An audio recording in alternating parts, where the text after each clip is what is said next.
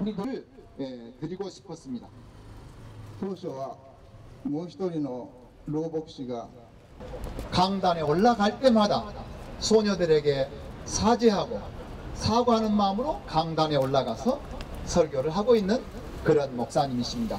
그 목사님께서 참석하지 못하셔서 편지를 예, 주셨기 때문에 제가 대독을 해 올리도록 그렇게 하겠습니다.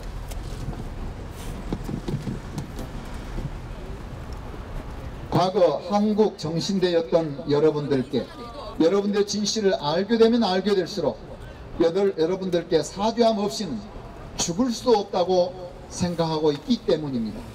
과거 저는 혈서 탄원 특공대원이었기 때문에 그 체질을 잘 알고 있을 뿐 아니라 여러분들을 괴롭게 했던 세력의 최전선에 섰던 것을 생각하며 그렇기 때문에라도 전력, 에, 전력으로 사죄하지 않으면 안 된다고 생각합니다.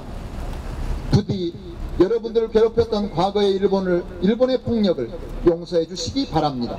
부탁드립니다. 副会長をしている志田俊嗣と申します 저는 동경에서 30km 日本大使館がシャッターを閉じどんなに耳を塞いでも水曜デモは日本政府と 日本人の心にプレッシャーとなりやがて共感を得る方法だと信じます申し訳ありませんでした 정말로 죄송합니다.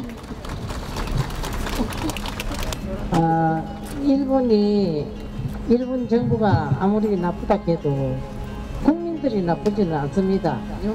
일본에 가시거들라 제발 여러 한 사람 한 사람의 더 어, 알아서 하루 빨리 이 한매들이 죽기 전에 이 원한을 좀 풀어주기를 갖다 여러분들이 해주기를 바라는 바입니다.